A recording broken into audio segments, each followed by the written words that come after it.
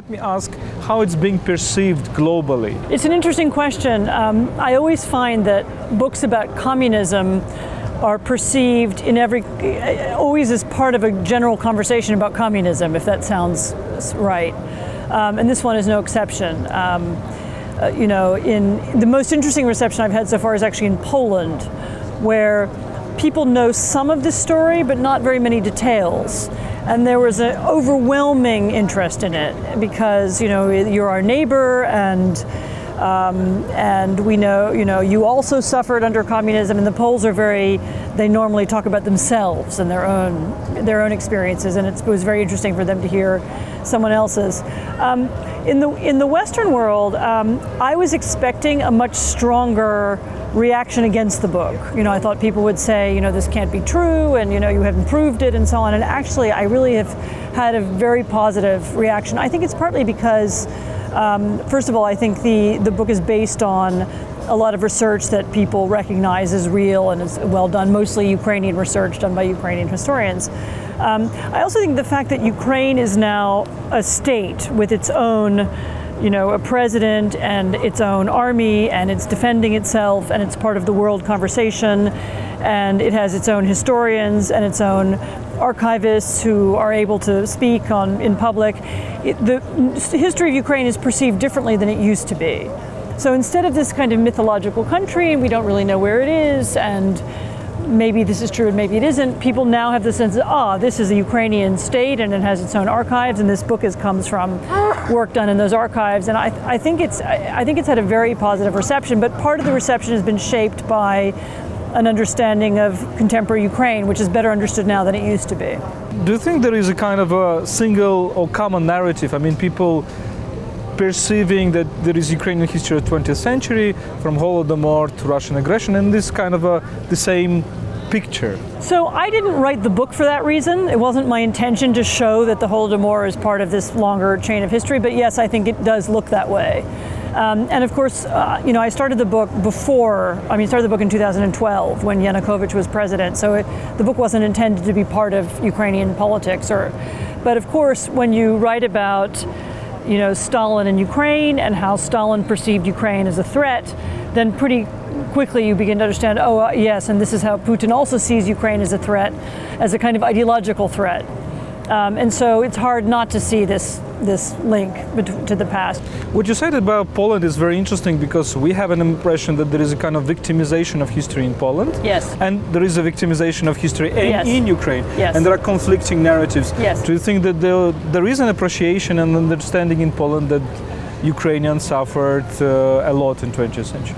So I think there is. I mean, Poland right now is very deeply divided on, on right around exactly these issues. I mean, the issues of history are very much part of politics there, and there is a part of the country that wants to see Poland as a kind of eternal victim, and then there's a part of the country that wants to see Poland in a wider context, in a more nuanced way. It's also becoming clearer, I think, to more people that this conflict between Poland and Ukraine is also being manipulated. Um, you know, that it's in some people's interests to make the conflict, and I mean interests in Poland and Ukraine, but also in Russia, you know, to create this conflict, to build it up, to, to, to make it worse online, to manipulate in social media. Um, also, it looks like some of the some of the kind of provocations on the ground, this, you know, graffiti and cemeteries and so on. It looks like some of that was Russian. It's about today's event and uh, events, and uh, in this sense about unity, both in Europe and about transatlantic unity. I mean, what what uh, what is very difficult for us Ukrainians right now is this divide between yeah. US and Europe, and we see this clash going wider and wider on on Iran primarily. We see Macron going to Kremlin. How do you perceive that?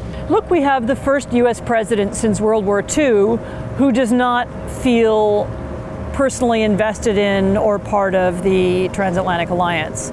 Um, who, and it's, it's more than, I mean, Obama was also much more oriented to Asia and so on than, than previous presidents. But this is a president who actually is hostile to the alliance. Um, and he's in the years before he became president, in his books and so on, he said that many times. He doesn't like allies. He doesn't see why U.S. troops are in Europe. He's he's written in, he's written these things many times, and that has that is a big change. You know, we've never had that before. And so I would say it's mostly this split is mostly to do with Trump and the way he sees the world. He also sees he understands diplomacy as a kind of zero sum game by which we win, if we win, you lose. Whereas historically, the transatlantic alliance has been, you know, together we cooperate and we both win. Um, and, we, and, we, create this trading system that's good for both of us, and we create this alliance that's good for both of us. Um, and Trump doesn't he can't somehow see the world that way. Let's come back to Russia. I, can, I cannot avoid the question uh, of uh, Kremlin prisoners. You, we see the hashtag uh, behind Free Sentsov. It's kind of a wave in Ukraine, but it seems to me that uh, this issue is underestimated in the West, and yeah, uh, probably. World Cup is going to happen uh, like as if nothing happens. How do you see it? Well, the World Cup is going to happen. You know, we had the Olympics in China and there were Chinese political prisoners, so it's not like this is unprecedented. Um, you know, I think it's a good moment for Ukrainians to talk about this, actually. I mean, I, I, I I, I, I, don't know what will happen. It's possible the World Cup could be canceled for all kinds of reasons. I can still imagine. Um, but if it's not, this is a useful moment for um, Ukrainians to speak about it, for protests to be organized. Um, for the attention of international journalists to be drawn to this. I mean, I would, I would make use of it. I mean, it, um, it might be quite a useful moment for Ukraine. But generally, we feel in Ukraine that Russia comes from a strategy of direct, you know, invasion to a strategy of kind of a subversion, of uh, putting chaos and destabilizing country from within. Do you have that feeling with regard to Europe, US, maybe? Yes, I mean, we now see this is not really a secret anymore. Um, Russia does not want to go to war with the West. I actually don't believe Russia wants to invade Estonia, you know, or even invade Ukraine much farther for the moment. Um, you know, it's very expensive to invade. People die. There's a backlash. You know, they don't want that. What they want to do is to um, is to undermine Europe um, from within, and they have a different strategy for each country. Um, in some countries, like in Italy, they have open relationships with the political parties. They have an open relationship with the Northern League, which is one of the um, well, now I don't know who's running Italy right now. As we're filming this right now, Italy has no government, so it's hard to say. Um, but they have an open relationship with Marine Le Pen in France, and you know, and, and with the AFD in Germany, the the um, Alternative for Deutschland in Germany. And so they have some open relationships. They also have some clandestine relationships with business people. They have some corrupt relationships, um, and in addition to that, they um, they have a policy of um, uh, attacking and undermining um, journalists and particularly Russians abroad as a way of sending messages. You know, don't follow this person. Don't become a Russian opposition journalist. You know, don't work in Kiev. You know, don't defect to London. And this is their way of. This is partly about their own people rather than foreign policy. Um, but it's also partly a way of showing, look, we can do anything anywhere. We can kill anyone anywhere. We can do whatever we want. It's, it's supposed to make people frightened.